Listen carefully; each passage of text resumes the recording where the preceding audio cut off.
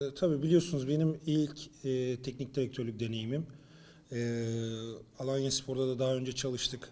Burada birbirimizi iyi tanıyoruz, yapıyı da biliyoruz. Bu sebeple e, lige iyi başladık. E, yeni transferlerimiz bize olumlu cevaplar verdiler. E, iyi bir takım olduk, iyi bir oyun oynamaya başladık. Zaten felsefemiz iyi oyundu, oyuna hakim olabilmek, oyuna hükmedebilmekti. Bunu da gerçekleştirdik ligin e, bu haftasına kadar, ilk yarı boyunca. Tabii e, ilk 10 haftayla ikinci 10 haftayı ayrı değerlendirmek lazım. E, 10. haftadan sonra e, rakiplerin bize karşı oyunu daha da sertleşti haklı olarak. Çok e, pas oyununu iyi oynadık, iyi hücumlar gerçekleştirdik. Ondan sonra daha sıkı savunmalarla karşılaştık. Bunun çözümünü çok erken bulamadık ama son 2-3 haftadır özellikle son 3 maçtır geriye düşmemize rağmen kapalı savunmalara hücum etmemize rağmen bunun çözümünü bulduğumuzu düşünüyoruz. E, bu bizi biraz mutlu ediyor. E, inşallah bu şekilde devam ederiz. Geneline bakarsak 34 puan lig beşinciliği.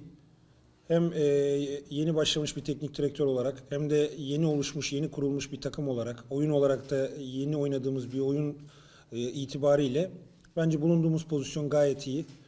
6-7 puan daha üzerinde olabilirdik. Biraz daha e, yukarıya sıkı sıkı tutunabilirdik. Ama bulunduğumuz pozisyon da bizi çok mutsuz etmiyor. E, daha önümüzde şimdi e, 20 tane daha maç var. Kupa var. Kupada da çeyrek finaldeyiz. Bu da bizi mutlu ediyor. Orada da gidebildiğimiz yere kadar gitmek istiyoruz. Hedeflerimiz büyük. E, umarım zirvede kalırız. Kupada devam ederiz. İyi futbol oynamaya devam ederiz. Ee, izleyenler Alanya Spor'u izlediği zaman e, aldığımız tepkiler bu yönde. E, mutlu oluyorlar, zevkli maçlar izliyorlar.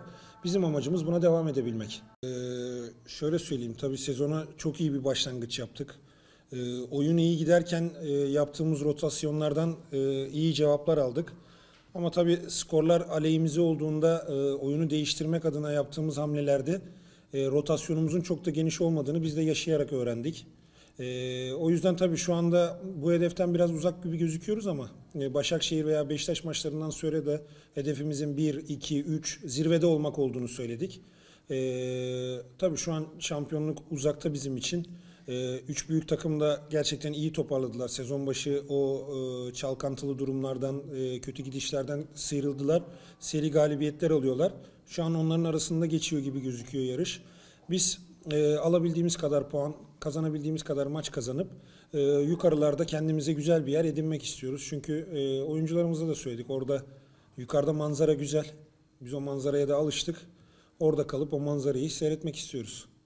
Bize artık e, diğer takımlar e, bir büyük takımla oynuyormuş gibi oynuyorlar. Bizi çok e, dar alana e, mahkum ediyorlar. Yani kendi sahalarına çekilip e, savunma yapıyorlar sadece ve geçiş oyunu oynamaya çalışıyorlar. E, dediğimiz gibi ilk başlarda biz bu problemi e, çözemez, çözemiyor gibi gözüktük. Arada da iki tane Beşiktaş ve Başakşehir maçı kazanınca bu bizi biraz daha e, sanki evet problem değil, arada böyle mağlubiyetler olurmuş gibi düşündürdü. Ama ondan sonra bunun genel bir problem olduğunu gördük. E, bunu yaşayarak öğrendik ve şimdi son 3 maçtır, e, iki tane Erzurum maçı, e, son Ankara gücü maçı geriye düşmemize rağmen, kapalı savunmayı oynamamıza rağmen iyi hücumlar, iyi ataklar geliştirdik. Tekrardan bol gol atmaya başladık. E, bizim için olumlu gelişmeler bizi sevindiriyor. Bu seviyeyi, bu hücum oyununu, e, hücumdaki varyasyonları, çeşitliliği sürdürmemiz gerekiyor. Ne Fenerbahçe camiasına karşı bir saygısızlığım, ne bir hedef gösterme hiç öyle bir durumum olmadı. Ben sadece o gün için daha e, güzel izlemesi keyifli bir maç olabilirdi diye söylemek istedim. Belki söylediklerimiz yanlış anlaşıldı. Çok fazla da geriye dönüp bu konuyla ilgili bir şey söylemek istemiyorum. Zaten biraz da kendimizi geriye de çektik şimdi. Bazen tabii biz de genciz. Söylediğimiz şeyler bazen yanlış anlaşılıyor. Belki biz kendimizi ifade ediyoruz, edemiyoruz. Belki de bizim ifade etmek istediklerimizi tam anlayamıyor insanlar. O yüzden bu konuda problemin kendimde olduğunu düşünüp biraz daha kendimi geriye çektim. Ee, yanlış anlaşılmak istemem. Ee, çok fazla özellikle camialarla ilgili problem yaşamak istemem. Çünkü ben bir teknik direktörüm. Yarın kimin nerede nasıl çalışacağı, kimle neyle karşılaşacağı belli değil. O yüzden e, Fenerbahçe camiası ile ilgili hiçbir e, kötü bir e, demecim olmaz, olamaz da zaten. Hiçbir camia ile olamaz bu saatten sonra. Çok önem verdiğimiz bir maç. E, oyuncularımıza da söyledik. Bir U dönüşü yaptık. Bu seriye devam etmemiz gerekiyor. Sivas maçı da onlardan bir tanesi. E, önemli bir rakip, ciddi bir kadro. Ee, bu ara biraz çok e, performans olarak belki istenileni veremiyorlar gibi gözükse de her zaman ciddiye alınması gereken bir rakip. Kendi sahamızda oynuyoruz. Kazanmak istiyoruz. Bunun için de elimizden gelen her şeyi yapacağız.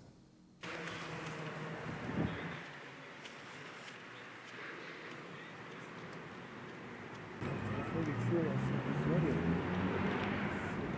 Ortadan biz gitmeye devam edebiliriz biraz.